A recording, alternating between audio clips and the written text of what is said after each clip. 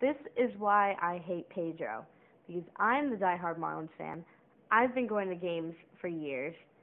And this bitch barely goes to any games, and this is what happens to him. As it is, Olsen gets out of trouble here in the second. One nothing Dodgers.